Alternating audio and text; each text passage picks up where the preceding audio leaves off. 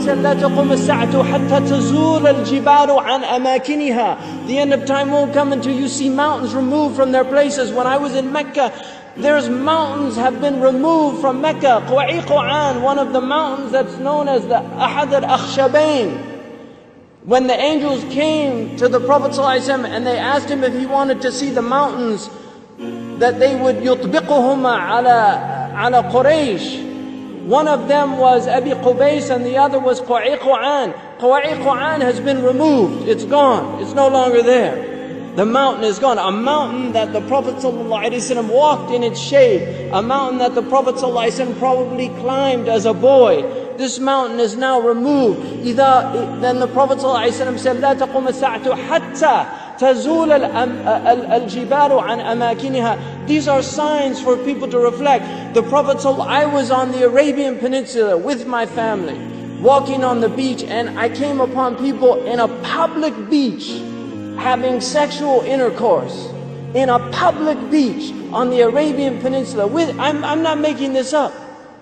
This is the level of fasad that is happening on our planet.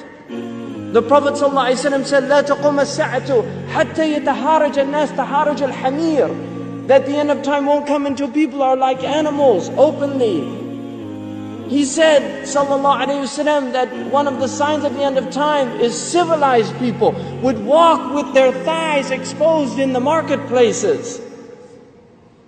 بادية بادية الأفخاذ في الأسواق. people pens, he said, would be everywhere. He said that people out of their love of the world, you would get two income families. That people would be two income families. That he said a woman will out hirsan out of dunya, to tijara.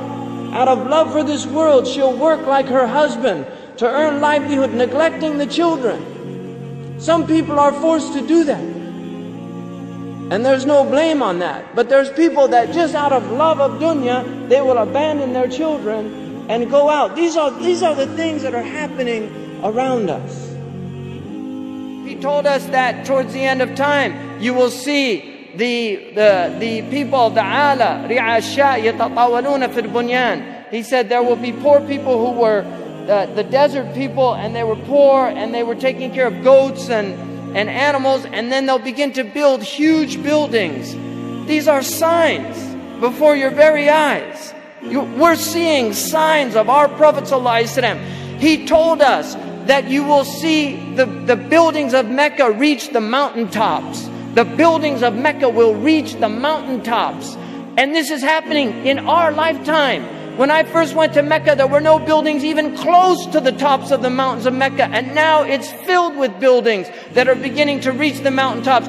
I was on one of the tallest mountains in Mecca, and you can see the clock tower now surpasses the mountains. The Prophet ﷺ said, in, in a hadith, he said, إِذَا رَأَيْتُم مَكَّةَ بُعِجَتْ كَظَائِمًا If you see Mecca, if you see its mountains with holes pierced through them, this is what it means. بعجت كظائمة وَيَتَسَأَوَ بنيانها رُؤُسَ جبالها And you see the buildings reach the, or in a riwayat ta'lu, they will actually surpass the mountaintops. And then he said, فَقَدْ أَظَلَّتَ السَّاعَةُ It means that the sa'a has cast its shadow. Imam as-Suyuti says in this, هي عبارة عن دنو الساعة. It means that the, the hour is near, it's coming close. But if you took that literally, and in hadith tradition, in the usuli tradition, asur al-kalam al-haqiqa, that if the Prophet says something, you should always interpret it literally, unless there's a reason to go to a metaphorical interpretation. Now we have the clock tower casting a shadow over the Kaaba. So the clock tower, what do they call it in Saudi Arabia? A sa'a. لَقَدْ أَظَلَّتَ سَاعَةُ You could take it literally. The clock has cast its shadow over the Kaaba. Literally or metaphorically, اقتربت الساعة وانشق القمر. The hour is drawing near.